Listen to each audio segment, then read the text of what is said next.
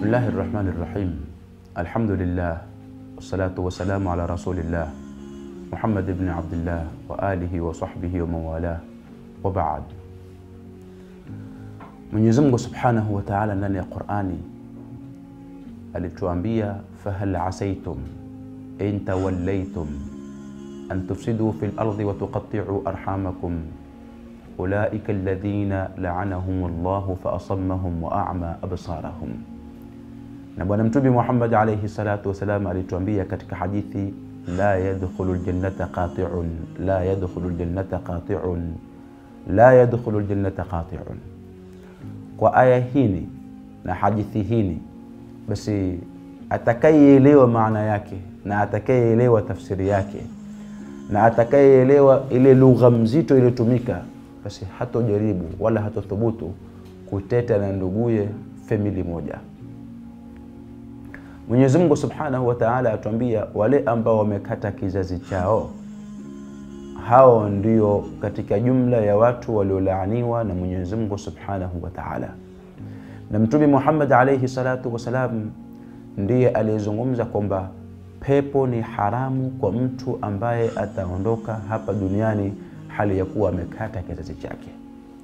Kwa zungumzo kuwa kosa ukilifanya katika mji wa kawaida si sawa kosa lile kulifanya katika mji wa Makka. Kosa ukilifanya katika barabara si sawa kosa lile ukilifanya msikitini.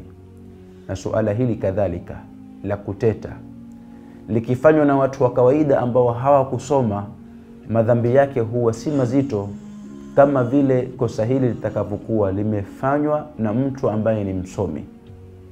Kama vile kosa hili hili likifanywa na mtu ambaye ni msomi huwa ni sahali kuliko kufanywa na mtu ambaye yuko katika nyumba ya Bwana Mtume Muhammad, yani mtu ambaye nasaba yake yatokana na Bwana Mtume Muhammad.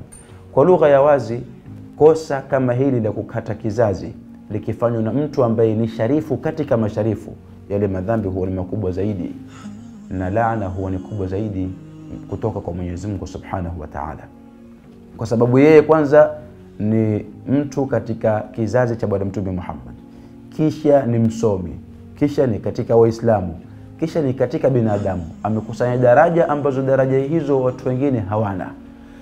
Mwenyezi Mungu Subhanahu wa Ta'ala alipozungumza nisaa an-nabii, wake za Bwana Mtume Muhammad, aliwaambia lastu ka ahadi minan nisa, nyinyi si kama wanawake wengine man yati minkunna bifahisha, yoyote ambaye atafanya baya katika nyinyi, yudhaaf laha ladhabu dhifain, ataongezewa adhabu mara mbili, nyongeza zake mara mbili.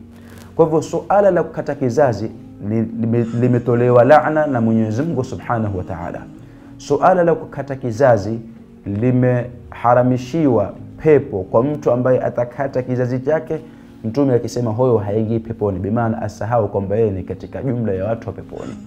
Mwenyezi Mungu atuondoshee majanga kama hayo, atupatie masikizano, atushikanishe, ndugu kwa ndugu wasikizane, famili moja ishikane.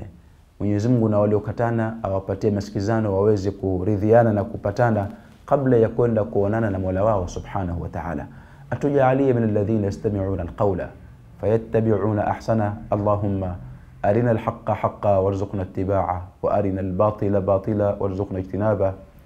Wassalamu alaykum wa rahmatullahi wa barakatuh.